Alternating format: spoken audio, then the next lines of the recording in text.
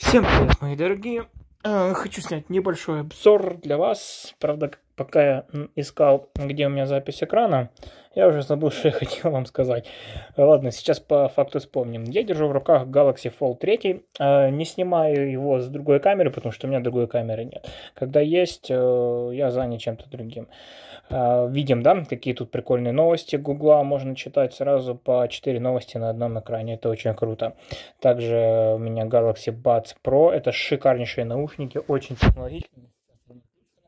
Но я сильно им доволен. У меня были Galaxy Buds 2, Galaxy Live и остановился я на Galaxy Buds Pro. Они во всем просто технологичные, просто классные, идеальные.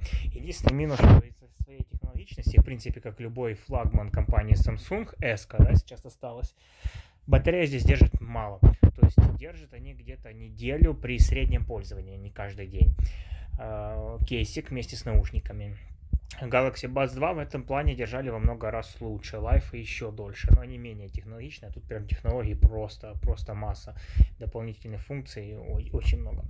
Э, Так, ребяточки, э, что я вам хотел сказать? Слушайте, я уже забыл, что я вам хотел сказать. Брум-брум. А, да, насчет Galaxy Fold 3 и насчет вообще Galaxy Foldов, может быть даже S.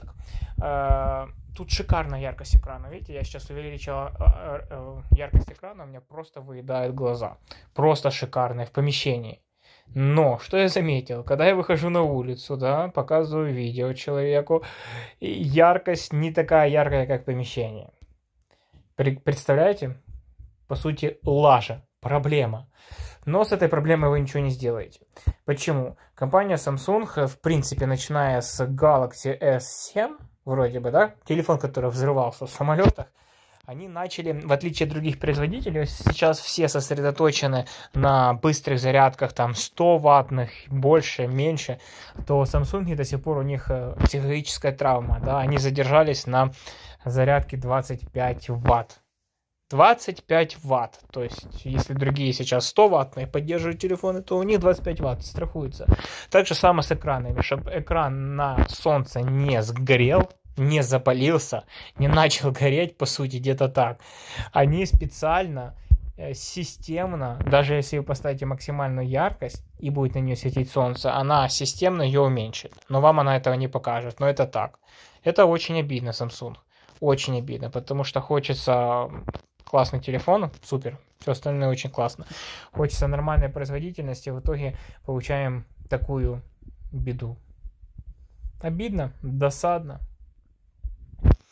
Вот такая ерунда. Батарея. Не быстрая зарядка, но с этим еще полбеды можно жить. А вот яркость на улице, тем более если вы пользуетесь, это очень обидно. Вот так вот. Что касается всего остального, сейчас поставлю адаптивную яркость. Что касается всего остального, то батарейка день держит до вечера спокойно. Э, Памяти у меня 512 шикарно просто хватает, мне больше не надо.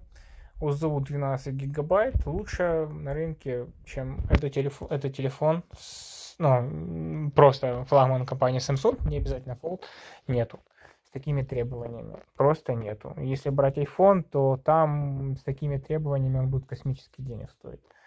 Вот. Что касается оптимизации, не глючит совершенно, все просто шикарно работает. Это все, что я вам хотел сегодня сказать. Всем здоровечка. С вами был канал Все просто. Папа.